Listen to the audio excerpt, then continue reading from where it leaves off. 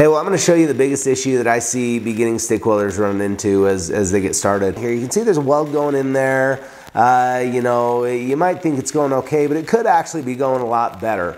And what's happening is notice how long that arc is and how far that metal is having to jump over to the material. That's really the biggest problem I see is too long of an arc. And when you have too long of an arc, every other issue with your technique just gets exaggerated, right? If your rod angles are off, if your movement's off a little bit, all those things are gonna have a much bigger effect on your weld and cause more problems if your arc length is too long. And so just by tightening it up, it makes quite a bit of difference. Now today we're running 7018 and the arc length that you get can actually be a little confusing. You know, if you look at a rod after it's been run, notice how that metal core is sunk down into the flux, right? So it's been uh, melting back in there. That means that part of your arc is actually concealed by that flux. You don't actually see the whole thing. So you have more more of an arc than you think when you're running with a rod like this. Now, as uh, I weld along here, notice with this uh, shorter arc, when I tighten things up a little bit, it's running much better. It's much easier to see that weld puddle. I can read the puddle, make sure things are filling in, and, and everything is going better. But you know, let's talk about what makes arc length difficult to control. First of all, when you're first starting out, I remember just having an arc struck and being able to weld it all with any kind of an arc. That was so exciting. It's worth having a party for. You don't want to stick the rod well, the reality is if you're sticking your rod part of the way through the weld, probably you need a little bit more amperage, right? You need to be, have enough amperage to hold a good short arc length and, and maintain that control.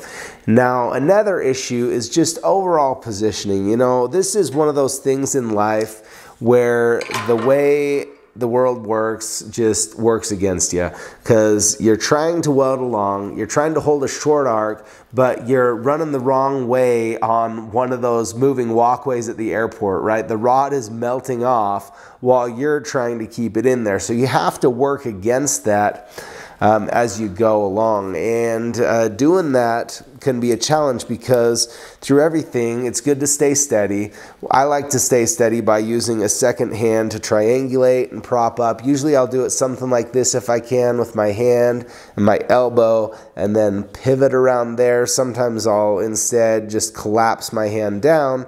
The problem with both of those is there are often limitations. You know, here on the bench, it's easy to just kind of pivot down, but if you're working on a trailer or something like that, you can't end up in a situation where your hand kind of gets jammed when you're moving along. And then all of a sudden you're like, okay, I can't really get it out of there. And I'm trying to weld along and, and that causes all kinds of problems.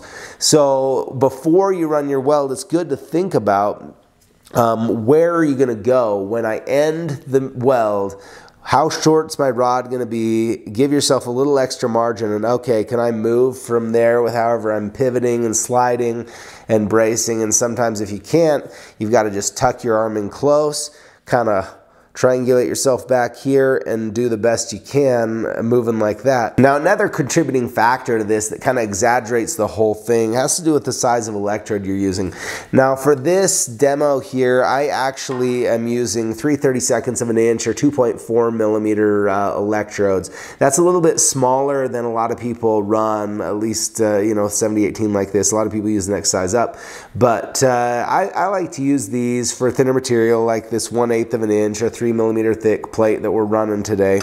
And um, it's nice because it, it, gives you just a little bit smaller uh, weld pool and, and, you can control that. But on the flip side, you typically have to feed a little bit more of the electrode in um, to make sure that you don't end up getting any undercut, right? Because as you're watching the weld puddle move along, it's important to make sure that it fills up the whole thing where it's melted out and so you don't end up with a little region that's melted out but not filled in and you get a low spot called undercut. So that creates an additional challenge when you're welding with these smaller electrodes just to be aware of. Leave yourself a little bit more margin um, as you're, you're feeding your way in. Go ahead and take a look at this weld that I ran here with the long arc in that demo.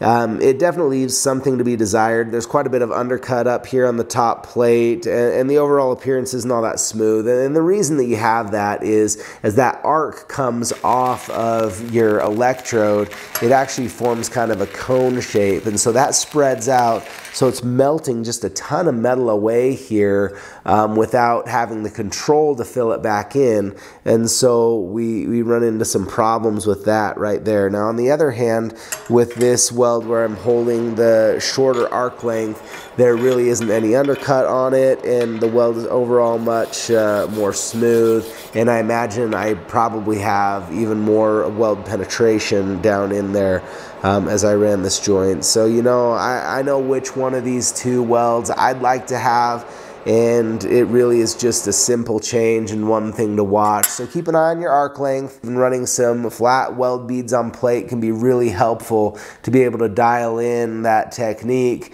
and uh, make sure that you're keeping your arc nice and short. Well, thanks for tuning in. If you learned something here, if you enjoyed this video, let me know by hitting that thumbs up below and we'll see you next time.